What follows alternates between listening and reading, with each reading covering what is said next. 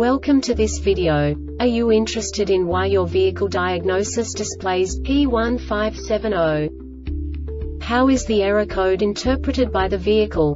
What does P1570 mean, or how to correct this fault? Today we will find answers to these questions together. Let's do this. First, let's look at the history of diagnostic fault code composition according to the OBD2 protocol, which is unified for all automakers since 2000. We divide the electric system of automobile into the four basic units. Powertrain, body, chassis, network. This distribution is defined in the first character code. If the second character is expressed as zero, it is a standardized error. In the case of numbers 1, 2, 3 it is a more prestigious expression of the car-specific error. The third character specifies a subset of errors. The distribution shown is valid only for the standardized DTC code. Only the last two characters define the specific fault of the group. Let's not forget that such a division is valid only if the other character code is expressed by the number 0. Our website airbagreset.sk produces useful videos for you.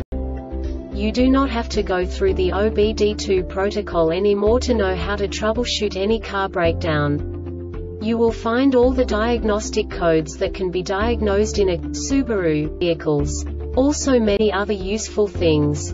The following demonstration will help you look into the world of software for car control units. You unbelievably can move the video a bit further. The error code is split into two bytes consisting of 16 bits. One bit is the basic unit that each computer works with. The bit has two logical states.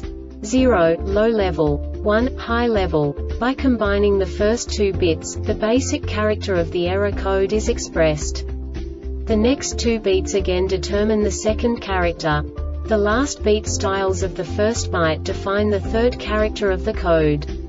The second byte is composed of a combination of 8 bits. The first 4 bits determine the fourth character of the code. And the combination of the last 4 bits defines the fifth character.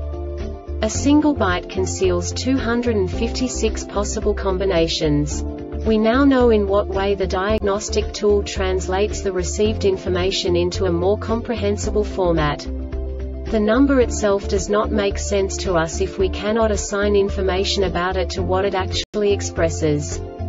So, what does the diagnostic trouble code P1570 interpret specifically Subaru car manufacturers? The basic definition is no cluster bus message.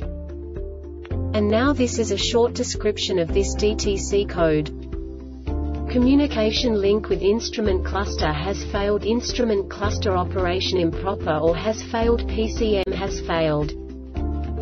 The Airbag Reset website aims to provide information in 52 languages. Thank you for your attention and stay tuned for the next video.